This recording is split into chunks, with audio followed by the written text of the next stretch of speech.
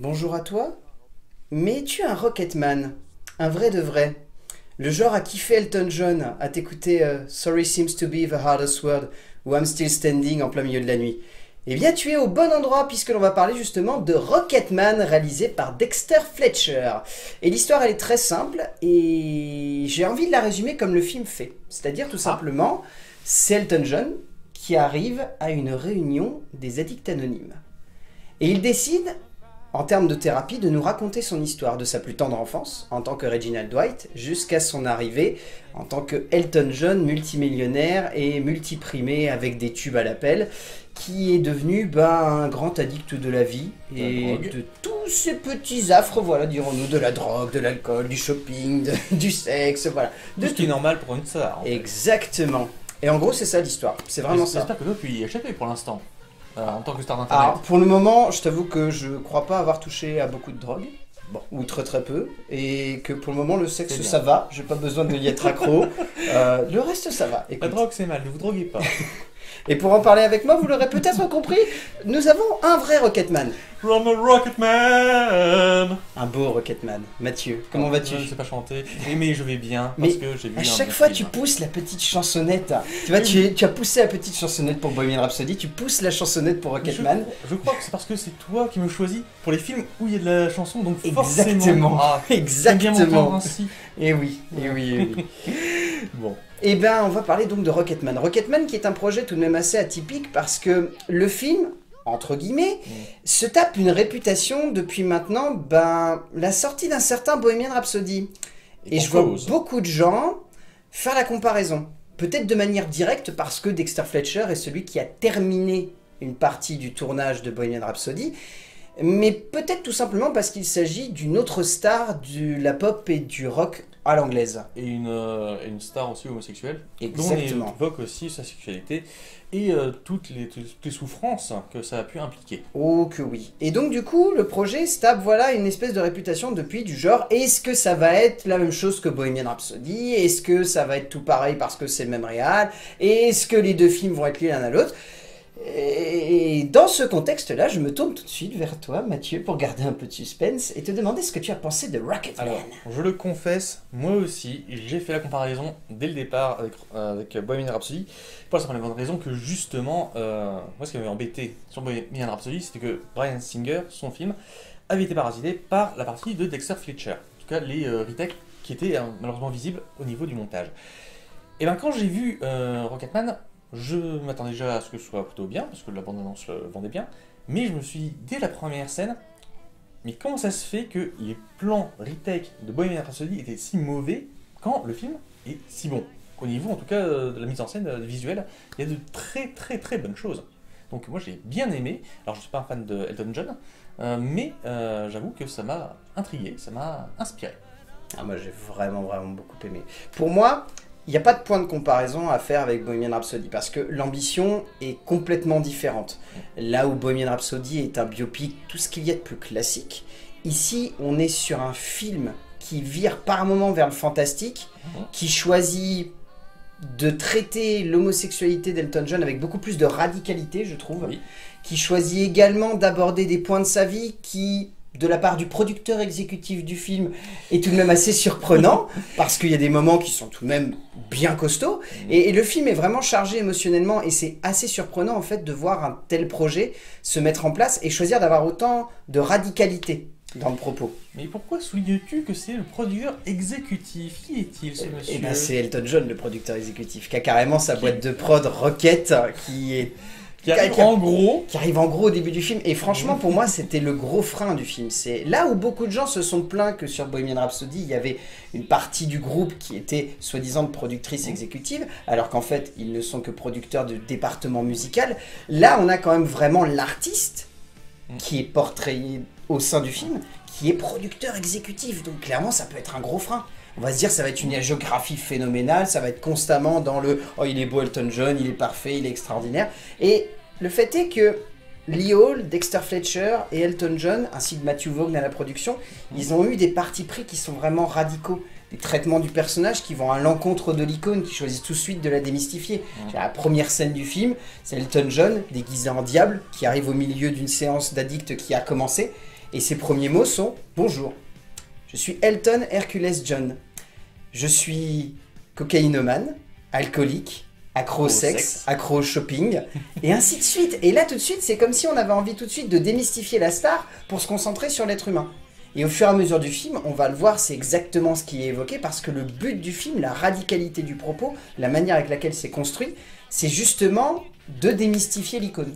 Et je pense que pour ça, en fait, euh, c'est pour deux raisons. Enfin, deux raisons. Il y a deux éléments à, à saisir.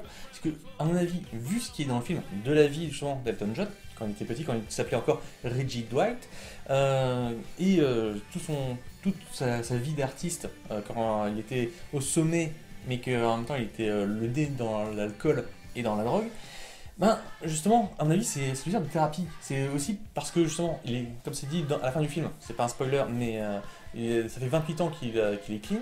Donc, à mon avis, là, il dit si j'ai quelque chose à dire, il vaut mieux que ce soit dit clairement. Et euh, l'autre élément que je vais indiquer, c'est peut-être parce que justement, c'est un- aussi un artiste anglais. Euh, moi, ça m'a rappelé euh, un court métrage qui s'appelle I Am Bob, avec Bob Geldof, qui était le personnage principal dans le film Pink Floyd The Wall. Si jamais vous voulez voir, c'est excellent. Mmh. C'est le gars qui a fait le, le Live for Africa, etc. Ben, Qu'on voit à la fin justement de. Comment ça s'appelle De, de Bohemian Rhapsody. justement. Rhapsody, oui, oui. Et ben dans I Am Bob, justement, c'est aussi un dégommage à l'humour anglais de Bob Geldof.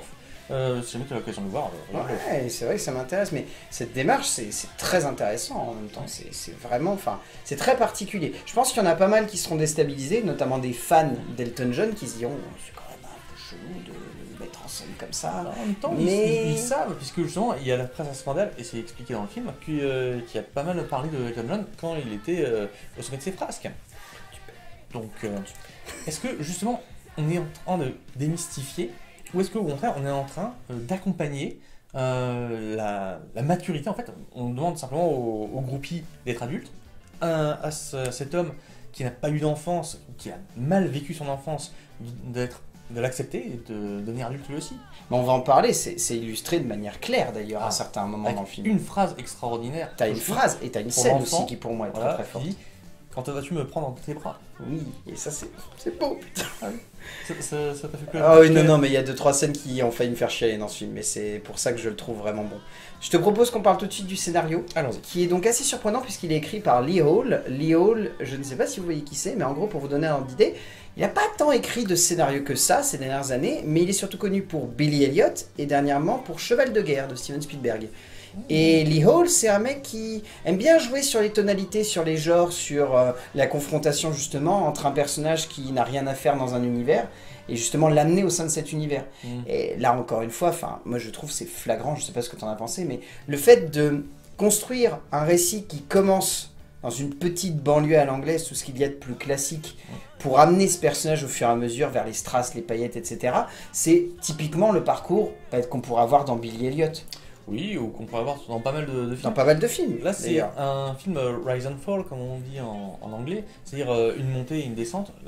D'habitude- c'est pour les films de gangsters, et euh, là, ça a été pour un chanteur. D'ailleurs, c'est très radical là en plus. C'est monté, la montée elle est directe, et en milieu de film, la descente elle est violente. Voilà. Et la remontée se fait qu'en toute fin de film quasiment, lorsque euh, il y a lui, lui, il y a droit parce que déjà, c'est un biopic, donc on sait qu'il a encore envie, mais on, on voit aussi que justement, euh, il en a, il a récupéré. C'est ça ce qui, est, ce qui est important à mon avis dans ce film-là. Et à mon avis, c'est ça le message du film. C'est justement, euh, on a le droit à une deuxième chance. On- il en parle aussi plusieurs fois. D'ailleurs, à plein de, à de nombreuses reprises, et notamment il y a une réplique, papa, on a Mmh. tous le droit à une seconde chance. Ah, c'est- Certains, non, C'est difficile. de- difficile d'avoir une seconde chance. Voilà. Et il faut, et il faut savoir la saisir. Voilà. Ouais, c'est vrai. Mais il y a plein de petits trucs comme ça tout au long du film. Bah, Comme je te le disais, cette scène d'introduction, pour moi, elle est très forte parce qu'elle démystifie tout de suite l'icône. Mhm. Et comme tu dis ensuite, toute l'idée au fur et à mesure de la construction du personnage, c'est de jouer à la fois avec l'envers du décor, montrer comment il est devenu Elton John, comment il a rejoint les cours, comment il a réussi à se forger une image, comment il a rencontré telle personne qui l'a aidé, comment il a rencontré Bernie, comment il a rencontré John, enfin etc. C'est tout le but, c'est vraiment de construire ça. Et ce qui est intéressant, c'est que il y a vraiment une envie de créer des rôles secondaires qui ne sont pas, on va dire, pour rentrer un petit peu dans l'idée, a priori des antagonistes. Parce qu'on va dire que tout du long du film, le long métrage va s'amuser à construire des protagonistes qui vont virer antagonistes et des antagonistes qui vont virer protagonistes et qui pour ensuite redevenir quasiment antagonistes. Oui, on peut voir ça comme ça. Ah bah moi c'est ce que j'y ai vu. Le, par exemple Ah le oui. personnage de John est très représentatif de ça parce que au début on Oui, est très dans l'empathie, on le trouve séduisant, charismatique, un peu comme Elton. Puis il devient ce qu'il devient. Voilà. Par moment on se dit ah peut-être qu'il va remonter la pente et en fait non c'est une grosse Ah non, merde Moi, et dès- ainsi de moi, dès suite. le départ, euh, enfin pas dès le départ, mais dès qu'il a eu une scène où il était, euh, il était pas, pas gentil, justement j'ai vu que celui-là il n'arriverait pas à remonter la pente. Et là, ça m'a par contre fait penser à Bohemian Rhapsody, puisque justement c'est C'est vrai que ça fait beaucoup a- penser euh, au personnage de Paul dans Bohemian Rhapsody qui est un peu dans le même esprit. Après, visiblement, je crois que tous les homosexuels de la pop anglaise, visiblement, ont rencontré un connard qui s'est pris pour leur manager et qui a décidé de... Je crois qu'en fait, Est-ce que c'est un syndrome que Je sais pas si c'est seulement pour les gays, mais je pense en fait que tout le monde peut rencontrer un connard et qu'une des leçons de, de la vie, et donc une leçon importante dans une histoire de, de star, c'est que justement, il y a des gens qui viennent profiter de d'eux. Et ça, je pense que c'est universel quand on a de. Mais pas toujours. Et il y a des fois des managers comme Star is Born qui essayent d'être gentils et qui virent connard sans le vouloir. Et là, c'est bon. Et là, c'est différent. Bon, bref, c'est un autre détail. Mais en tout cas, en termes d'écriture, il y a vraiment une envie de construire un parcours dramatique et émotionnel qui est quand même très fort parce que on se lie d'amitié avec Reginald Mhm. et Elton. Parce que c'est vraiment deux personnages différents en fait. C'est quasiment traité tout du long du film comme Oui, ça. C'est le cœur et le masque. Donc, euh, et euh, ce qui est dommage, c'est que, comme euh, le dit encore une fois, là, par contre, c'est un peu trop explicite. Euh, quand, quand on connaît difficile, c'est qu'on dit, euh, on a un des personnages qui dit, euh, il faut que tu tues l'homme que tu devais devenir pour, Pour, pour devenir l'homme que tu veux être. Voilà. Que tu voulais être, ouais. Et donc, euh, ben, Reggie, l'enfant, doit être abandonné pour, Devenir pour que Elton. John, le masque, prenne la place et, Ouais. et reste en place. Ça, par contre, tu vois, c'est un des points que je trouve être pas forcément très subtil tout le long du film, mais ça fait partie de l'écriture de Lee Hall, c'est qu'il y a beaucoup de choses qui sont souvent explicitées. Il n'y a pas forcément de place laissée à l'interprétation personnelle du spectateur, mais c'est un petit peu le syndrome du biopic. Voilà. C'est qu'on veut tellement tout justifier, tout expliquer, tout analyser aussi- direct. Euh, le souci des, des films euh, américains en général, mais anglo-saxons plus généralement d'ailleurs, euh, c'est que justement il y a parfois du mal à euh, ne pas avoir un ensemble bien carré et bien euh, défini. Hmm. Il y, a, il y a peu de place pour le hors-champ, hélas, sauf dans la réalisation. Oui, alors là, ouais, là, bah tu veux qu'on passe tout de suite à la réalisation Alors oui, parce cher que moi je, je, sens que t'en as envie. que c'est ça qui, m'a- qui m'a étonné Je sens que t'en as envie. totalement. Et ben plongeons là-dedans. Dexter Fletcher, donc qui est réalisateur surtout de Eddie Eagle, Mm. que tout le monde connaît, je pense, ou en tout cas beaucoup connaissent, parce que étonnamment le film a pas forcément plus que ça marché en salle. Ouais. Mais alors le film a eu un succès sur Internet, c'est impressionnant. Mm. Tout le monde a adoré. Et là, du coup, le choix pour moi était un petit peu atypique. Je t'avoue quand j'ai entendu que c'était Dexter Fletcher, parce que je me suis dit, Hmm, est-ce que c'est vraiment sa corde de bataille? Est-ce qu'il va arriver à faire quelque chose d'intéressant avec ça? Et après, les premières images sont sorties. Alors là, je me suis dit, ça va, ça va claquer, c'est vraiment classe. Et ben, j'ai envie de te lancer tout de suite, vu que tu as envie tout de suite de. T'as plein de choses à dire. Allez, vas-y, lance-toi. Ah ben moi donc euh, je ne le connaissais que des retakes de Bohemian Rhapsody, ce qui n'est pas une euh, bonne carte d'introduction si je veux dire. C'est pas une bonne carte de visite, on va Eh dire. bien, par contre, question d'introduction, euh, la première scène, enfin, pardon, deuxième scène, puisque la première c'est celle donc, dans le cercle des addicts anonymes, la, la, première, la première scène de, de souvenir avec, le, avec Elton John, tout Ah, flamboyant, et Reginald, qui est aussi très visible dans un cadre complètement interne, dans une séquence de danse, je me suis dit, une réflexion comme ça sur la façon de, me- de mettre en scène, justement de bien montrer quel élément est important, comment il se conjugue, comment il, euh, comment il, euh, il renvoie face euh, au reste du monde. Comment ce mec-là a pu faire des images aussi banales euh, pour les retakes de Bohemian Rhapsody. Donc, moi là-dessus, ça m'a beaucoup plu. Ensuite, autre élément, c'est que justement, ces parties-là chantées sont un côté presque fantastique, puisque là justement on quitte le, le côté biopic, on quitte le côté réaliste, terre à terre, qu'avait gardé euh, Bohemian Rhapsody, Hmm. pour aller faire quelque chose justement de beaucoup plus aérien, de beaucoup plus... euh, Et aérien est le bon terme Voilà. d'ailleurs, parce que l'une des premières scènes qui a introduit entre guillemets le fantastique dans le film, c'est littéralement une note de musique, Elton John qui a les pattes qui se lèvent, Ouais. et elle reste en l'air, et tout le monde reste en l'air. Et là où beaucoup de films auraient tenté de justifier ça en disant c'est dans la tête, Ouais. ce qui est intéressant c'est que là dans le film, les gens le savent et s'en rendent compte. Mm. C'est-à-dire ils veulent vraiment. Voilà. C'est pour ça que je définissais le film comme étant fantastique en introduction. C'est vraiment qu'on est là dans du cinéma qui vire vers le fantastique Voilà. de manière très élégante en plus. Oui, c'est euh, tout simplement de- une manière d'esthétiser euh, une idée, donc euh, de, de rendre pictural euh, une, une idée, un concept, et euh, justement, ça donne un aspect réaliste, mais qui justement est très poétique et qui convient tout à fait. Il y a d'autres scènes comme ça, il y a la scène où euh, il chante, alors je sais plus quelle est la... euh, c'est Pinball Wizard, euh, où euh, le, pian- le piano Elton Oui, tourne Où il arrête pas de tourner, Et, on le tourne. voit vieillir et, et Et, faire on, plein de et on voit concerts. aussi le, comment s'appelle, le, la salle autour de lui qui se reflète sur lui. Il y, a, il y a des moments beaucoup plus simples où, euh, lorsqu'il est prêt de pleurer, en fait, il y a un, un feu qui se reflète dans les lunettes à la place de, de la larme. Donc euh, l'eau, le feu qui, s'échangent, c'est excellent quoi. Il y a plein de trucs, il y a un plan séquence aussi en introduction Oui. dans le film en plein milieu où On de voit chanson euh, où euh, il passe de l'enfance justement à l'adolescence. et en passant par un parc d'attractions où littéralement on va traverser quasiment tout le parc d'attractions en plan séquence pour revenir ensuite dans la rue. Enfin c'est Pour revenir ensuite dans le bar où il y a la bagarre. oui, la bagarre. Donc il y, a- il y a plein d'idées comme ça. Euh, alors par contre, là où ça m'embête, c'est quand il y a plein d'idées sur certaines scènes, c'est qu'ensuite les scènes plus banales, ben euh, elles ont un côté justement un petit peu fade. Et ce qui fait que le film n'est pas assez égal euh, là-dessus.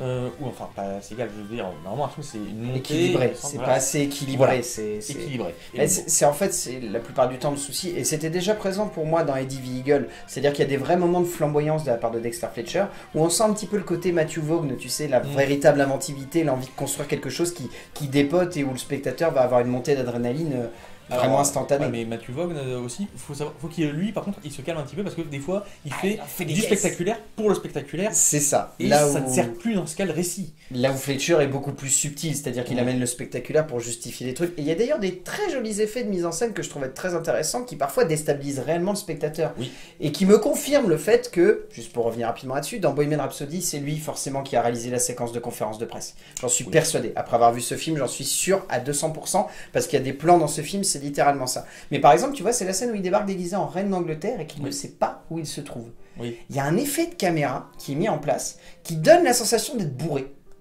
Oui, Un tout vrai. petit effet, tu vois lequel Oui, C'est- euh, comment ça s'appelle le débulage. c'est le débulage et puis il y a aussi la, cadence d'image. La cadence d'image qui, qui, est- Oui. qui est un petit peu, tu vois, tu te rappelles Ça, oui, et oui, ben il y a oui. une cadence d'image qui est très particulière qui donne cette sensation un peu flottante de ne pas savoir où on est. Et, et c'est enfin c'est plein de petites idées comme ça que je trouvais très intéressantes de la part de Dexter Fletcher qui voilà vont dans cette optique de vouloir donner du style au film comme tu disais, Mm. donner du cachet, donner de la puissance.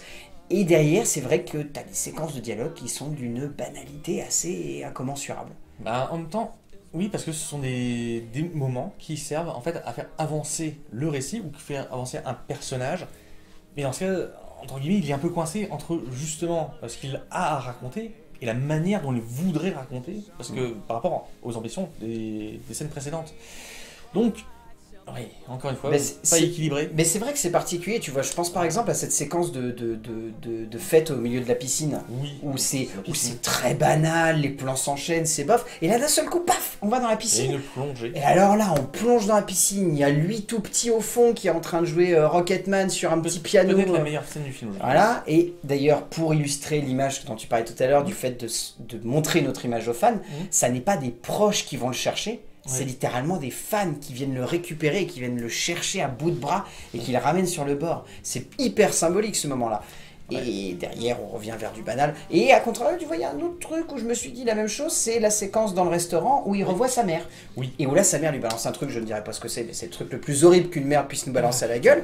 Et le fait d'enchaîner tout de suite sur Sorry seems to be the hardest word, et d'avoir cet instant complètement suspendu où il y a ce plan séquence monstrueux qui va dans le miroir, où Taron Egerton arrive à passer de Oh bah c'est horrible ce qu'elle m'a dit ma mère, à littéralement je, je suis détruit.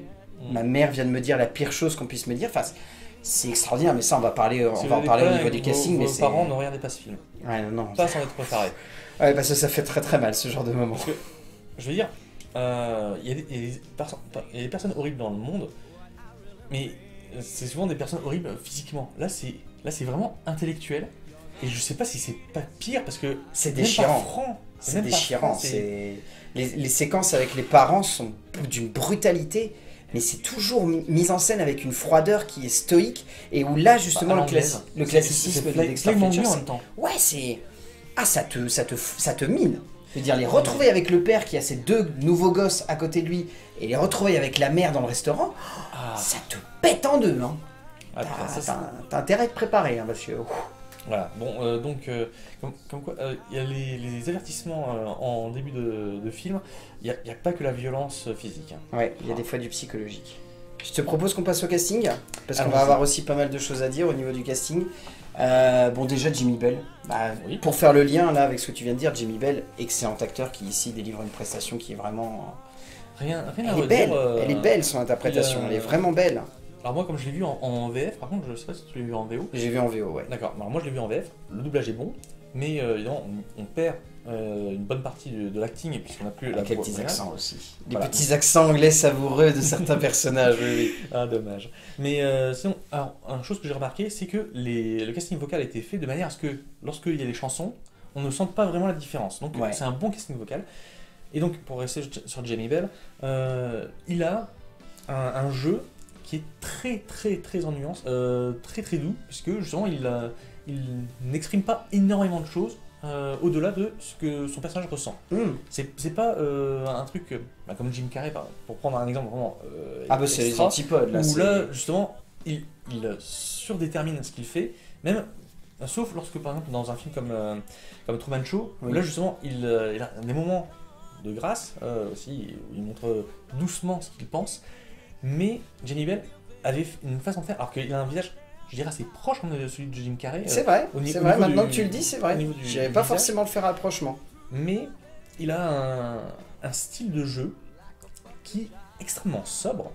On dit beaucoup, mais je crois qu'en fait, c'est surtout au niveau du regard. Je crois que c'est parce qu'il a un regard très expressif. Oui, oui, oui. Ça Mais il y a ça, moi je trouve que Richard Madden, qui joue donc John Reed, est, est excellent aussi parce que, Oh, il- ben, moi, tu vois, j'ai vraiment ressenti de la, de la tendresse pour lui au début et ça fait vraiment mal dans le voir basculer, ça, ça te casse un peu en deux.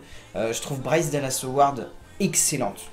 Mais ainsi que Steven McIntosh d'ailleurs, celui qui joue le style. père. Ah, et Steven McIntosh, alors, Steven McIntosh, le style anglais. et le style anglais, tu sais à qui il m'a fait penser? Euh, non, dis-moi. Il m'a fait penser, si je te dis Pink Floyd The Wall, Ah, Bob Geldof? Non. oui, il m'a fait un peu penser à lui en termes de physique. Ah, moi, il m'a fait Ah, penser pas- au, à l'acteur qui euh, joue Pinhead dans Hellraiser. C'est vrai qu'il y a un peu ça aussi. On est d'accord que dans Pink Floyd The Wall, je parle de celui qui joue le, le, le- le- le directeur de l'école. Ah, d'accord. Alors, non, c'est pas le même. Non, non. Bah, Ah. je me fais penser à ce mec-là. Bah, oui, et du coup, j'ai trouvé. c'est- l'incarnation du, du style british, quoi. Oui, mais du coup, il y a carrément des scènes où je voyais des échos de Pink Floyd The Wall. Genre des scènes à table. La première scène à table Ah. où on les voit tous, elle m'a vraiment fait écho à ça. Et je trouve que Steven McIntosh, en plus, amène cette petite touche-là. Ce serait pas étonnant qu'il y ait un petit clin d'œil là-dessus. J'ai beaucoup aimé aussi. Gemma Jones dans le rôle Oui. de la grand-mère, très très Ah, belle. La également. grand-mère est très très importante. Ouais, non, non, elle est très très Euh, belle. Il n'y a pas à dire, euh, faut, faut la remercier cette dame-là, parce que si euh, la moitié de ce qui est dit dans ce film est vrai, dans ce cas, euh, on n'aurait pas eu Elton John sans elle. Oh oui. Donc, Oh oui. C'est une grande dame. sainte femme. Oui.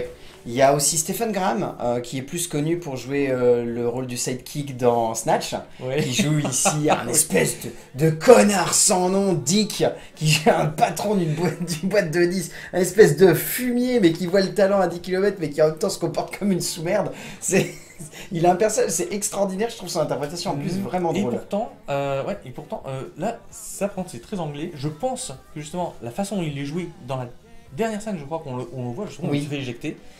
Là, ça indique euh, justement quel est son véritable rôle dans le personnage.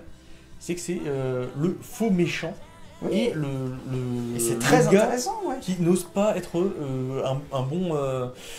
Qui a, pas envie d'être, qui a pas envie d'être un bon pater, il a envie d'être un peu le connard qui va pousser les personnages dans leur retranchement, et à la fin, quand il se fait un peu duper, il est en mode Merde, j'aurais peut-être pas dû abuser euh, comme ça. C'est pas tant qu'il je- il pensait j'aurais pas dû abuser, mais c'est plutôt euh, tu, tu fais une connerie parce que je sais que ça va être dommage pour toi. Et là, je- je- j'ai senti dans, le, dans le- la façon de faire dans- que c'est justement, il sentait que euh, Elton John allait se faire euh, entuber. Oui, complètement.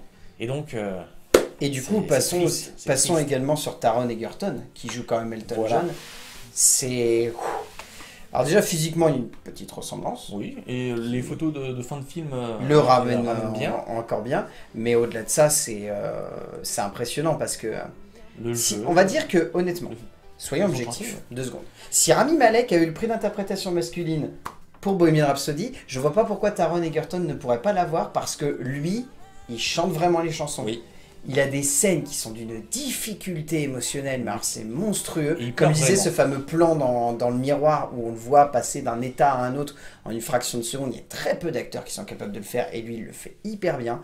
Et en termes de chorégraphie aussi, mine de Oui. rien, il y a aussi un peu de chorégraphie et il est dedans et il pète la classe. Bah oui. Et moi, je pense que honnêtement, ça peut être un des gros prétendants pour les Oscars l'année prochaine, à moins que, comme certains films de milieu d'année, comme souvent, ça soit. On Ils sont verra. oubliés. Euh, De toute façon, euh, je sais pas si tu as vu la vidéo de Michael J sur euh, les Oscars. Ouais. Euh, ça fait froid dans le dos de voir Mm, ouais. comment est-ce que les, les distributions sont, ré- sont- enfin, pardon, les récompenses sont distribuées. Parce que c'est. Enfin bref. Ça fait Euh, souvent peur de Nous, découvrir nous ça, sera- ça- pourrait être notre Oscar. Ah, mais moi, personnellement, euh, on va voir ce que l'année 2019 nous réserve parce qu'elle n'est pas terminée. Mais je pense qu'il finira dans les gros prétendants, ça ne serait pas étonnant. Eh bien, Et ben, je te propose qu'on fasse la conclusion, mon cher Mathieu. Qu'est-ce que tu retiens donc de Rocketman je retiens une excellente surprise par rapport à mes attentes. Euh, J'adore être surpris à ce niveau-là. Euh, je retiens un très très bon travail de mise en scène sur beaucoup de scènes.